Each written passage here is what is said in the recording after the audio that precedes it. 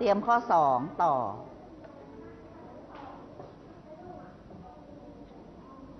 ทันไหมลูก ปลายทางทันไหมคะ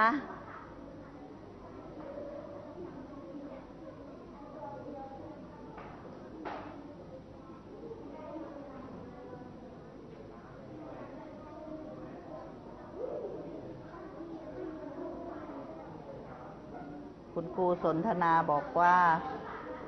เด็กๆ อยากได้ตารางการคูณค่ะ คุณครูจิมมี่ คุณครูสนทนาบุญประสานรอรับนะคะ เดี๋ยวคุณครูจะอัปโหลดลงในกลุ่มนั่นแหละ ข้อที่สองมาแล้วค่ะสามกิโลกรัมสามร้อยกรัม กับสามกิโลกรัมเจ็ดขีด อุ้ยข้อนี้ง่ายจุงเบย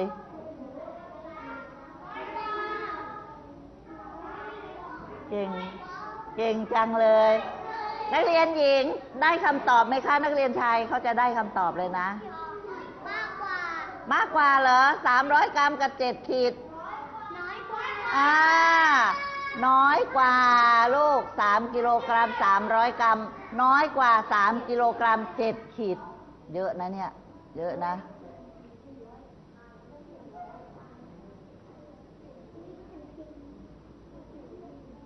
โรงเรียนบ้านช้างข้ามบอกว่าสัญญาณ อ๋อ ไม่ใช่ไม่ใช่ ส่งรูปมาให้คุณครูค่ะ ตั้งใจเรียนนะลูก คุณครูไปข้อที่สองตามทันเปล่าคะ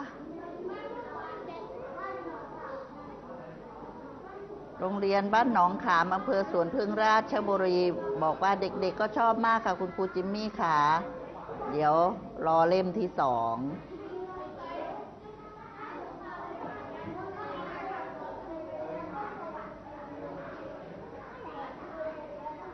ดอนขิงแดงเหล่าน้อยชัยภูมิเขตสองก็ขอด้วยคนค่ะ คุณครูจิมมี่ ข้อที่สามเอาละ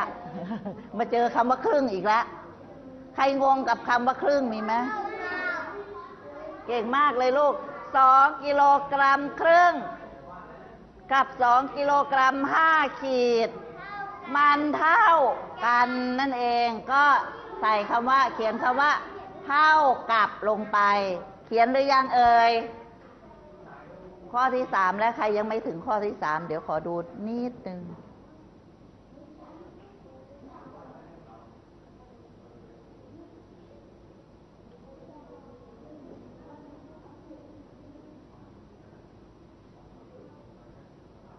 เขียนไม่ทันดูเพื่อนลูกฟ้า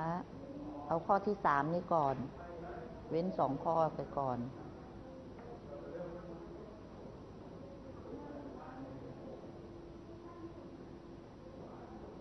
ตรงคำว่าเท่ากับนักเรียนขีดเส้นใต้นะคะ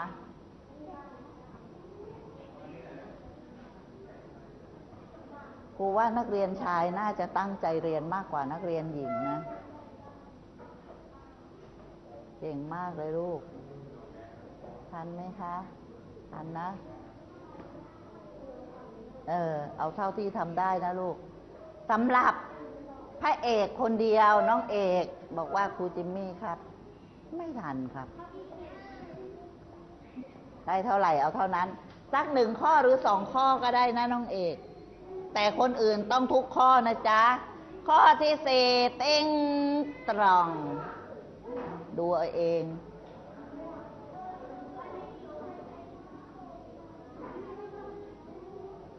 หกกิโลกรัมเจ็ดร้อยกรัม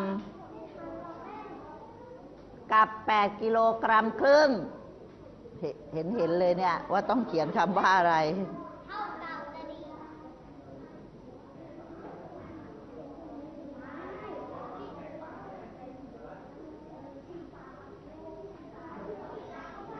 คุณครูสุกัญญาทองใบบอกว่าโรงเรียนบ้านนาเวียงก็อยากได้ใบกิจกรรมการคูณแบบตารางค่ะครูจิมมี่ขา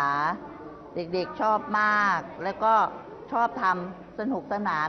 ทำถูกด้วย มื่อวานนี้ครูจิมมี่ก็เทส ห้องตัวเองปลายทางให้ไปทำบนกระดานทำได้ค่ะคุณครูดีใจมาก ๆ เลย ข้อนี้เขียนคำว่าอะไรคะลูก เนติภูมิ เนติภูมิเขียนคำว่าอะไรคะ น้อยกว่า ถูกไหมลูก ถูกไหมคะ ก็นี่ไงหกกิโลกรัมมันก็ต้องน้อยกว่าแปดกิโลกรัมดู แค่อ่านข้างหน้าก็ทราบแล้วคำตอบ โรงเรียนวัดประชาก็อยากได้ค่ะ คุณครูจิมมี่ โรงเรียนบ้านเตาแตกก็ขอใบกิจกรรมแบบฝึกการคูณแบบตารางด้วย โรงเรียนวัดโชติรสด้วยนะคะ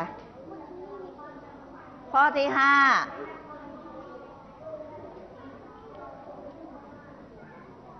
ข้อที่ห้าเก้ากิโลกรัมสองร้อยกรัม โอ้ มองปั๊บรู้เลย ใช่ปะ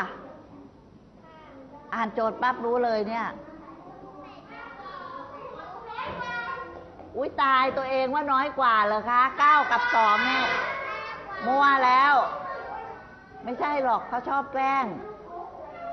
มากกว่า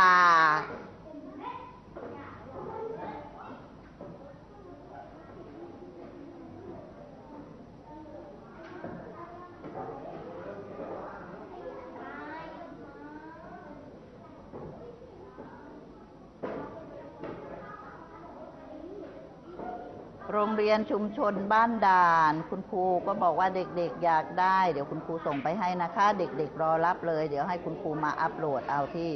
Facebook คุณครูจิมมี่โรงเรียนบ้านไร่ใหญ่อำเภอกันตังจังหวัดตรังก็อยากได้เหมือนกัน อ้าว เรียบร้อยแล้ว ขีดเส้นใต้มัวแต่โม้มัวแต่ฝอย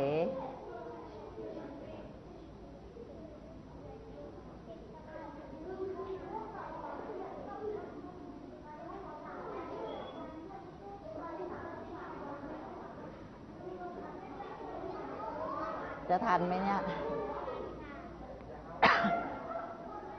อ้าว ให้นักเรียนดูภาพแล้วตอบคำถาม ไม่ต้องเขียนโจทย์ข้อที่หนึ่ง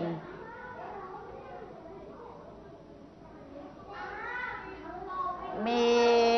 ข้าวสาร มีน้ำตาลปี๊บ มีผงซักฟอก มีแป้งเด็ก มีนมผง มีปลากระป๋อง ข้าวสารสิบหนัก 15 กิโลกรัม น้ำตาลปี๊บ35 กิโลกรัม ผงซักฟอก 12 กิโลกรัม แป้งเด็ก 350 กรัม นมผง 2,500 กรัม ปลากระป๋อง 185 กรัม ถามว่าสิ่งของใดหนักที่สุดคือน้ำตาลปี๊บ เก่งมาก อ้าวเขียนลงไป แสดงว่าดูเป็นดูเป็น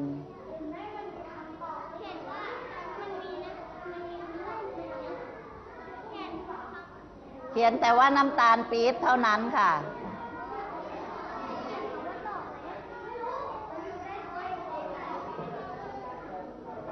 เขียนหรือยัง นักเรียนเขียนว่าน้ำตาลปี๊บเป็นไหม ปออีบอ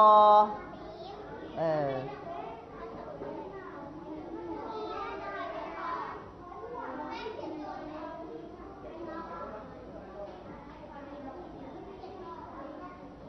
อ้าว ต่อไปข้อที่สองสิ่งของใดหนักน้อยที่สุด น้อยที่สุด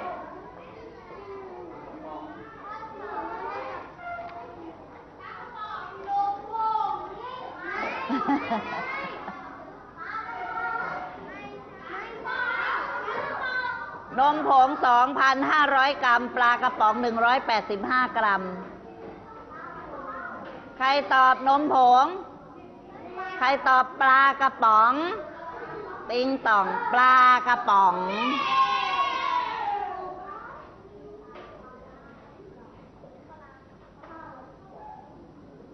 กรออากะ ปอองอปอง ไม่จัดตะวาป๋อง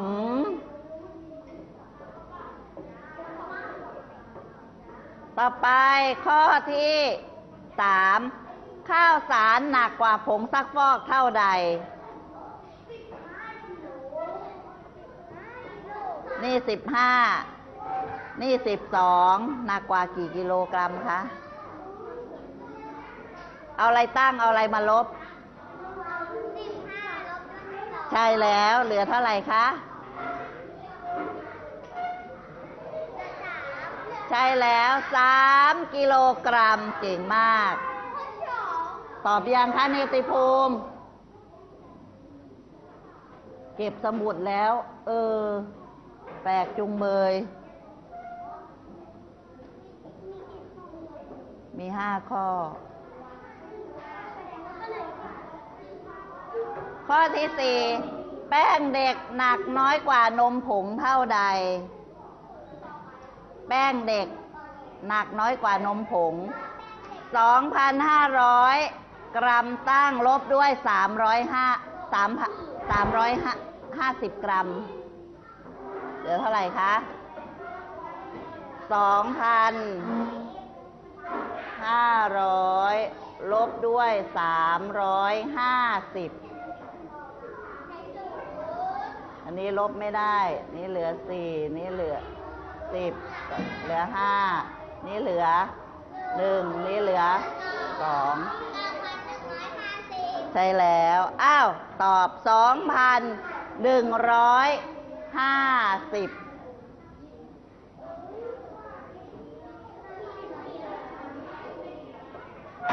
กรัม อย่าลืมคำว่ากรัมด้วยนะคะ ข้อสุดท้ายข้อที่ห้านมผงหนักกว่าปลากระป๋องเท่าใด นมผงหนักกว่าปลากระป๋องเท่าใด นมผงสองพันห้าร้อยใช่ไหมคะปลากระป๋องหนึ่งร้อยแปดสิบห้ากรัมเอาลบกัน คุณครูไม่ตอบไปตอบเอง ข้อนี้ตอบเอง เอาละ หมดเวลาเวลาหมด บอกวิธีคิดแล้วเรียบร้อย แค่ข้อเดียวคิดไม่ได้ก็แย่แล้วสำหรับวันนี้เวลาหมดลงแล้วค่ะ การเปรียบเทียบน้ำหนัก ดูดีๆนะคะ ถ้าหน่วยมันต่างกันต้องทำให้เป็นหน่วยเดียวกันก่อนนะคะ แล้วก็นำมาลบกันและเราจะทราบความต่างว่ามันต่างกันอยู่เท่าไหร่ โดยเอาหน่วยที่น้ำหนักมากกว่า ลบด้วยน้ำหนักที่น้อยกว่าก็จะ ทราบค่าความแตกต่างนะคะ เอาละสำหรับวันนี้ see you tomorrow สวัสดีค่ะ